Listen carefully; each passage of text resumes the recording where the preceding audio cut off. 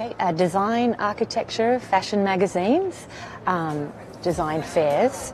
Um, coupled with this, um, I love going to the ballet and to the opera. Um, it's sort of food for my soul. Burle Marx was one of the greatest jewelry designers and he was working in Brazil. He made art jewelry that resembled pre-Columbian forms. Yes, this is an epic piece. It's 307 uh, carats of Brazilian crystal opal um, paired with 18 carat gold and a machine or tool has not touched this piece. It's completely handmade.